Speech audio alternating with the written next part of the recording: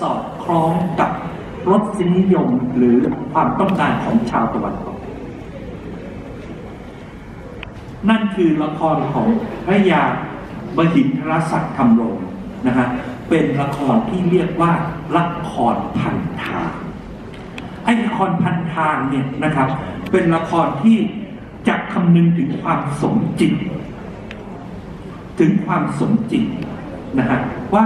ตัวละครนั้นเนี่ย การแต่งกายเนี่ยไม่แต่งกายตามจารีตละถ้าเป็นมอญก็ต้องแต่งอย่างมอญถ้าเป็นจีนก็ต้องแต่งอย่างจีน ถ้าเป็นไทยก็ต้องแต่งอย่างไทย ถ้าเป็นฝรั่งก็ต้องแต่งอย่างฝรั่งนะครับ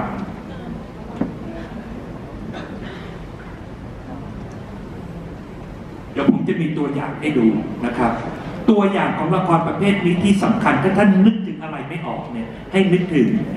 ราชาธิราชตอนสมิงพระรามอาสานั่นตัวคือตัวอย่างของละครพันทาง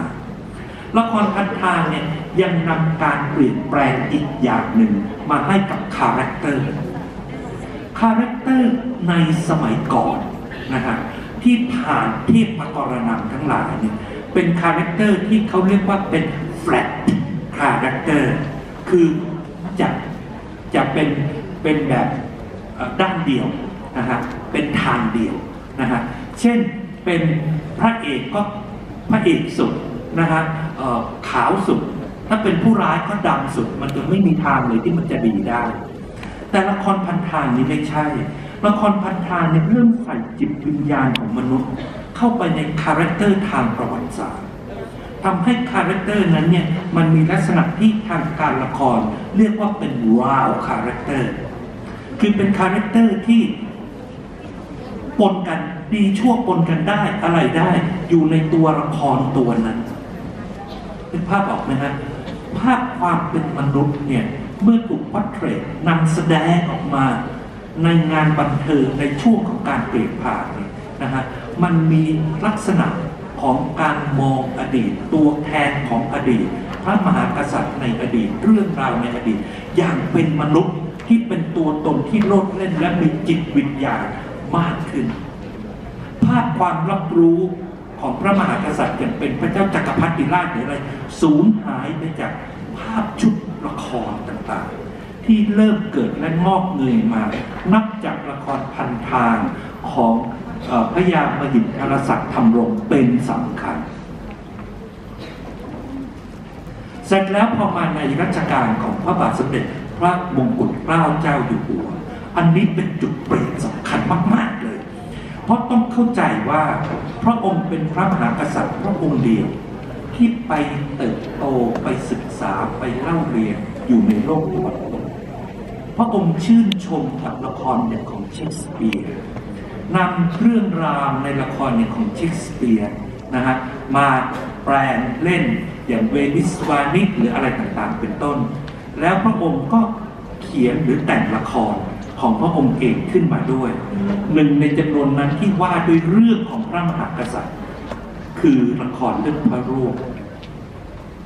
แต่ในละครเรื่องพระร่วงเนี่ยนะฮะพระองค์กับแสดงเป็น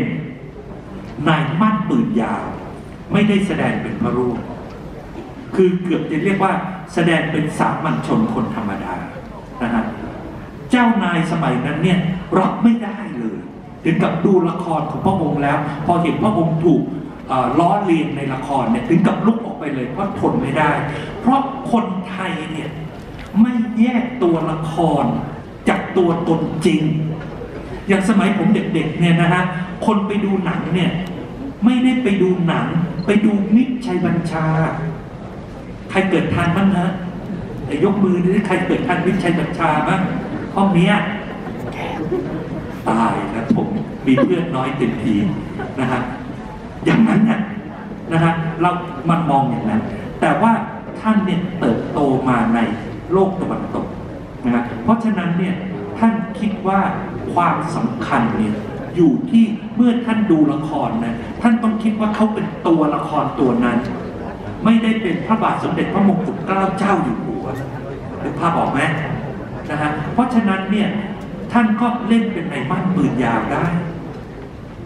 เห็นไหมคือนี่คือคือมันแหมมันเปรียบมากพระมหากษัตริย์ที่จะมาเล่นเป็นสามัญชนอย่างเนี้ยมันไม่มีมาก่อนนะครับนะฮะแล้วเสร็จแล้วพอจะทำพระร่วงปั๊บเนี่ยเกิดภาพที่ทำเป็นลักษณะที่เขาเรียกเป็นคล้ายๆกับกรีนเพลย์หรืออะไรนี่ยที่ที่ทำเป็นรูปวาดนะฮะ ก่อนที่จะเป็นตัวละครจริงท่านก็จะเห็นตัวละครที่เป็นบุคคลสำคัญอย่างนางเสือนะฮะก็ดีนะตัวละครสำคัญต่างๆ ที่เป็นกษัตริย์จะต้องแต่งตัวยังไง พระร่วงดูสิครับจะต้องแต่งตัวยังไงนะครับเราก็เริ่มมีภาพของพระมหากษัตริย์ ที่เข้ามาโลดเต้นอยู่ในตัวละครแล้วเห็นไหมฮะเพราะนั้นจุดเปลี่ยนเนี่ย ก่อนที่จะมาเป็นซูโยไทยหรือของท่านมุ้ยเนี่ยมันมีที่มาที่ไปมากพอสมควรนะฮะและผมคิดว่าจุดเปลี่ยนในสมัยรัชกาลที่6เนี่ยเป็นอีกจุดหักเหทางประวัติศาสตร์ที่สำคัญอีกยุคหนึ่ง จนกระทั่งมาถึงละครยุคของปรีดาลัยนะฮะคณะปรีดาลัยของกรมพระนราธิปที่มีชื่อเสียงมหาศาลเลย และ ละครท่านเล่นละครหลายเรื่องอย่างสาวเครือฟ้าอะไรต่ออะไรแล้ว แต่แต่ละครที่เป็นจักจักรวงวงที่ท่านเล่นเนี่ยนะฮะคือละครเรื่องสีปอมีคือละครที่เป็นต้นเรื่องให้กับเพลิงพระนางโอเคไหมครับนะฮะ อ่านี่เป็นประธานต้นที่กลับไปนิดนี่เป็นภาพละครพันทางเสมียนพระรามอาสาคือละครพันทางเนี่ยแต่งตัวเป็นมอญแต่งตัวเป็นจีนเห็นไหมฮะคืออันนี้มันเริ่มเปลี่ยนแล้วตั้งแต่ช่วงรอห้าพอมาถึงละครร้อง อันนี้เป็นหน้าปกของบทละครนะครับผมไปได้มาจากร้านหนังสือเก่านะครับพอเปิดนี่คือหน้าปกบทละครร้องเรื่องมหาราชวงศ์พม่า พอเข้ามาก็บอกเลยว่ามีใครเขียนใครรจนา แผ่นดินพระเจ้าสีปอหมิงเพราะนั้นคุณยายผมเนี่ยพอพูดถึงละครนี้ ท่านจะบอกว่าละครเรื่องสีปอหมิงสีปอก็คือทีบอเมงก็คือกษัตริย์นะสีปอเมงพอเปิดมาก็จะมีปกในลักษณะอย่างนี้นะฮะแล้วไอ้ปกนี้เนี่ยมันเลื่อนหน้าได้นะ พอท่านเลื่อนหน้าไป ท่านจะก็เห็นภาพกรมพระนราธิปอยู่ แต่ส่วนละครเล่นเป็นฉากยังไงเป็นอะไรเนี่ย พอดีมันไม่มีรูปอยู่ในหนังสือผมก็ไม่ได้ถ่ายมา แต่อันนี้ก็เข้าข่ายเป็นพัฒนาการของละครพันทาง เล่นเกี่ยวกับเรื่องเจ้านายพม่าราชสำนักพม่า เน้นการแต่งตัวอะไรต่างๆเหมือนจริงนะฮะคือเอาลงตยาชุดรัตนโปงคือชุดยุคมันเดเลย์เนี่ยเข้ามาใช้นะครับ หลังจากนั้น มาเนี่ยมันก็มีกิจกรรมนะฮะอันนี้เป็นละครพันธาที่สำคัญก็คือเป็นอย่างสมัยหลวงวิจิตรเราเรียกละครหลวงวิจิตรเนี่ยไม่รู้จะไปเข้าข่ายอะไรได้ จะเหมือนละครลำก็ไม่เหมือนทางทางก็ไม่ใช่ เขาเลยเรียกละครหลวงวิจิตรว่าละครหลวงวิจิตรอันนี้ท่านจะเอาเรื่องอะไรล่ะครับ ราชมนูนะฮะท่านจะเอาเรื่องอะไรพ่อขุนรามคำแหง นะฮะเอาเรื่องเจ้าหญิงแสนหวีนะฮะศึกถลางมีทั้งสิ้นที่จะร่วมจำลองภาพอายุทยาถ้าราชมนูนี่เป็นทหารเอกพระนเรศวรท่านก็ยกอยุธยาขึ้นมาเลย ภาพลักษณ์ของอยุธยา ก็ถูกนำมาให้โลดเต้นอยู่ในละครของท่าน รวมทั้งมีเพลงประกอบอะไรต่ออะไร เรื่องที่สำคัญกว่าเรื่องใดทั้งหมดคือเลือดสุพรรณภาพที่เกี่ยวกับท่าน จำเกี่ยวกับชาวบ้านของอยุธยา ท่านก็จำจากเลือดสุพรรณออกมาเป็นเครื่องแต่งกายตัวละครลำเบงต่างๆ อันเป็นต้นแบบให้กับกรมศิลปากร อันนี้สำคัญมากนะ เพราะท่านดูแลทางด้านการโฆษณาแล้วก็เป็นอธิบดีที่ไปดูแล งานเกี่ยวกับของกรมศิลปากร เพราะนั้นละครหลวงวิจิตคือละครกรมศิลปากร ละครกรมศิลปากร คือละครที่มีการจัดตั้ง โดยรัฐเป็นผู้จัดตั้งมันทำเป็นระบบระเบียบทำให้เกิดมาตรฐาน และมาตรฐานนี้ถือว่าเป็นมาตรฐานที่ represent ความเป็นไทย เป็นมาตรฐานที่ เราการแสดงในเขตต่างจังหวัดหรืออะไรต่ออะไรต่างๆเนี่ยต้องถือว่าอันนี้เป็นมาตรฐานระดับชาติ การแสดงก็ต้องดูต้นแบบของศิลปากรไปเป็นเกณฑ์นึกภาพออกไหมครับ มันเกิดการ standardize ความเป็นอยุธยาขึ้นมา ในแวดวงของโลกมายา ซึ่งก่อนหน้านั้นมันยังไม่มีการ standardize standardize เนี่ยถูกทำโดยรัฐในช่วงนั้น แล้วบทบาทหน้าที่สำคัญของโลกละครที่ฟื้นอดีตอยุธยา ที่แตกต่างไปจากที่เคยเป็นมาในอดีต คือมันถูกนำมาใช้เป็นเครื่องมือของรัฐในการส่งผ่านความคิด ในการปลุกระดมในการปลุกเร้าความรู้สึกชาตินิยมหรือว่าอะไรต่ออะไรต่างๆ เพราะฉะนั้น ละครหรือต่างๆที่ท่านดูเนี่ย มันจึงมีอีเลเมนต์นี้ มันจึงมีเจตนาลมนี้เนี่ยอยู่เสมอ แม้กระทั่งในคำโปรยของศรีอโยธยา ละครหลังสุด ก็จะต้องพูดเรื่องนี้ว่ามีเจตจำนงที่ในเรื่องของการทำเพื่อคุณประโยชน์ของแผ่นดินนะครับของเหล่านี้เนี่ยมันได้ถูกทำด้วยเจตนารมณ์นี้ ภายใต้ standardize อย่างนี้ มันอาจจะมีมาก่อนในช่วงรัชกาลที่ 6 ซึ่งเป็นเค้าเนื่องแต่มันถูก standardize และทำให้ไม่ว่าจะเป็น costume ไม่ว่าจะเป็นเพลง ไม่ว่าจะเป็นสารัตถะของเรื่องที่นำมาเล่น ไม่ว่าจะเป็นเจตจำนงของการสื่อสารออกไป ช่วงนี้ครับเป็นช่วง Big Turning Point อีกอันหนึ่งของโลกมายาที่สร้างชุดความเข้าใจถึงความเป็นตัวตนของอยุธยาและอื่นๆ ท่านก็จะมีเลือดสุพรรณนะแต่งตัวประมาณนี้เลย และถ้าท่านไปดูเลือดสุพรรณหนังเรื่องแรกเรื่องเลือดสุพรรณเนี่ยนะฮะคือตะก่อนมันเป็นละครเวทีใช่เรื่องแรกก็คือแสดงโดยคุณสุพรรณบุรณะพิมพ์นะฮะและออกคนเล่นเป็นบ้านนั้นไม่ใช่นะครับแต่คุณสุพรรณเนี่ยเล่นเลือดสุพรรณด้วยนะและมันก็มีละครเรื่องอื่นๆด้วยซึ่งเดี๋ยวผมเดี๋ยวผมจะเล่าให้ฟัง แต่ว่าอันนี้เป็นของในชุดของหลวงวิจิตรนะที่ที่เล่นในเรื่องเรา นะฮะแล้วคุณเชิดทรงศรีก็เอามาผลิตซ้ำเล่นโดยคุณไพโรจน์และนานานานาเห็นไหมครับท่านจะเห็นเลยว่าชาวบ้านอยุธยาจะประมาณว่าแต่งตัวประมาณไหน